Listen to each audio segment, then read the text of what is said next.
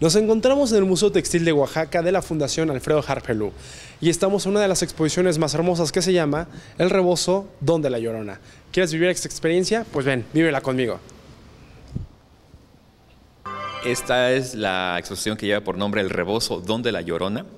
Eh, es una pieza con eh, piezas textiles del acervo del Museo Textil de Oaxaca y 11 piezas en préstamo del Museo Franz Mayer de la Ciudad de México en donde toda la planta baja del, museo eh, se muestra precisamente al rebozo con prendas análogas de otras partes del mundo, como las hebras de estos hilos, eh, existen eh, similitudes, paralelismos con la pieza del rebozo, con piezas de África, de sudeste asiático, de Sudamérica, de Asia Menor.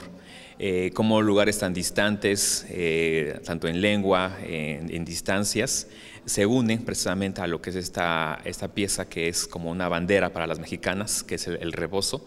Eh, son 50 piezas textiles, entre ellos encontramos rebozos, eh, lienzos para boda, eh, algún otro tipo de, prenda que precisamente comparten algunas técnicas de, teñido sobre todo, en donde pues, todo el público que, se acerque pues, va a poder ver pues, la gran similitud y paralelismo que existe con, con esa pieza.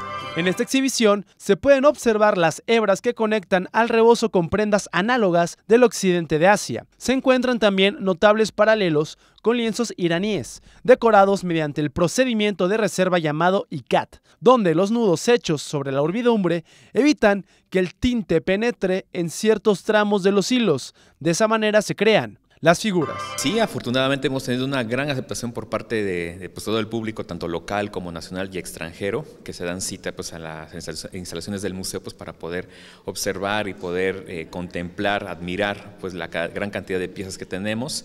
Eh, muchas de ellas pues, nos dejan unos grandes comentarios en el libro de visitas, en donde bueno, exponen pues, que ha sido una gran experiencia, que no sabían ciertos datos que se dan en las cédulas de, exposición, eh, y pues siempre no una retroalimentación con toda la gente, pues que se todos los comentarios se tomen en cuenta pues, para seguir mejorando ¿no? en todas las, las, cosas que hacen aquí en el museo.